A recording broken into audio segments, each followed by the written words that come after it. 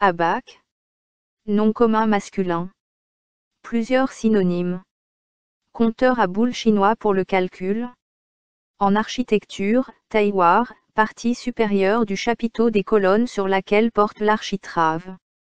Dans l'Antiquité, tableau couvert de sable fin, sur lequel on traçait des nombres pour enseigner le calcul ou la géométrie. En mathématiques, diagramme ou graphique qui donne, par simple lecture, la solution approchée d'un problème numérique.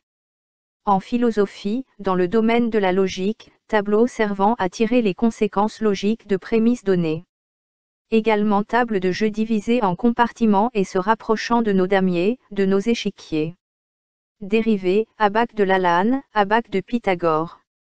Synonyme, boulier, tailloir.